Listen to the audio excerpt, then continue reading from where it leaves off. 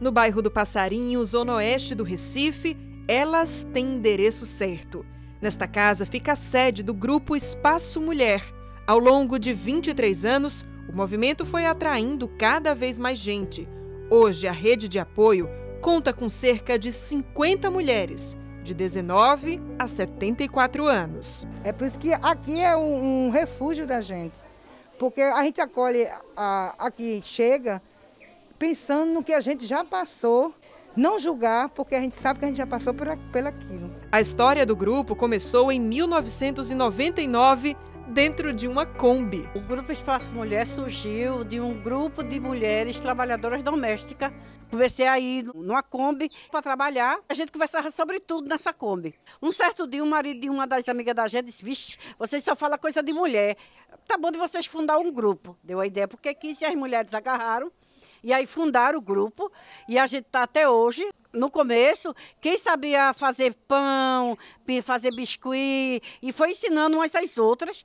Toda semana o grupo se reúne para uma roda de conversa. Aqui todas são convidadas a falar, a desabafar e a se informar sobre temas importantes. Feminismo, racismo, violência contra a mulher, moradia, empreendedorismo.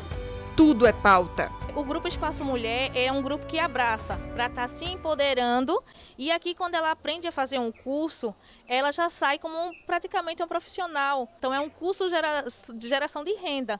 Então isso é muito importante.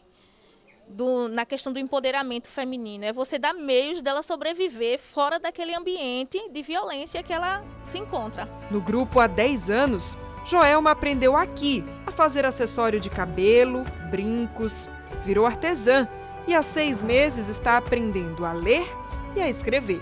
Eu estudo aqui dia de sábado, aí cheguei aqui, eu fui abraçada, eu fui acolhida, né? Esse grupo para mim é muito bom, muito maravilhoso e eu não me sinto tão só.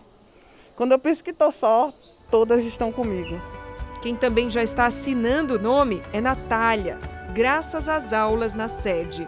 Motivo de muito orgulho como mulher trans. Não sei ler, mas estou aprendendo aos poucos. Quando eu cheguei, todo mundo me abraçou. Não teve preconceito, não teve nada disso. E eu sou muito feliz aqui. Cada um traz sua vivência, seus sonhos, e em comunidade, as mulheres buscam formas de garantir os direitos de todas. Um exemplo de como a união e a empatia são capazes de transformar realidades. O Dia da Mulher para a gente é um dia de luta, é um dia da gente reivindicar né, nossa resistência como mulher negra, de não deixar essas mulheres da solidão. E foi aí que a gente também tá, se fortaleceu também.